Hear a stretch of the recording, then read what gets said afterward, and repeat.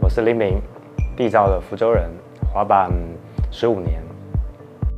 因为自己喜欢滑板嘛，所以离不开滑板这个。没有滑板就觉得全身不自在，然后用滑板的方式进行这种旅行。二零一一年的四月一号凌晨出发，最后到达拉萨那边的时候是在九月九号。西藏这个整个过程粗略估计是在五千多公里。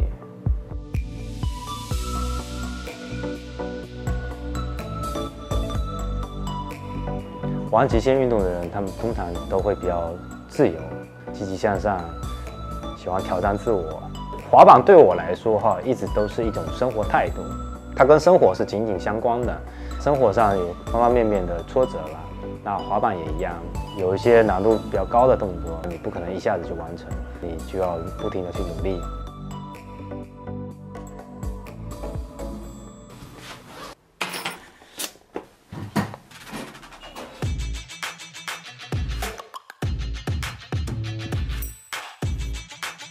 我不玩滑板的话，我可能去网吧上网，我可能跟其他孩子混，那可能会学坏，对吧？那有滑板，那我可以专心在滑板上面，我不会去做其他的事情。嗯，包括玩游戏也好，或怎么样也好，对吧？网瘾少年。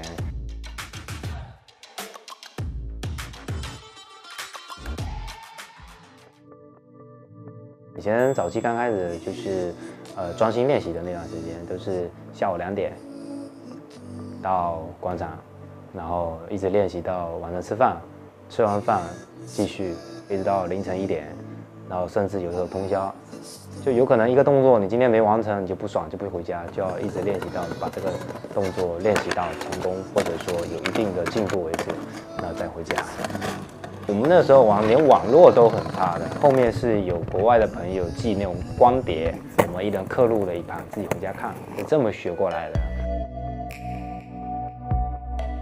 在我我那个年代概念里面，其实没有玩具这个概念，因为以前我们哪有什么什么变形金刚什么什么玩具都没有。在我的印象当中，滑板这个东西给我带来的感觉就是，嗯，它可以滑。超越了其他任何跟小朋友玩的东西，反正超越了任何东西的感觉，就觉得说哇，这个很神奇，一块板底下四个轮子可以滑。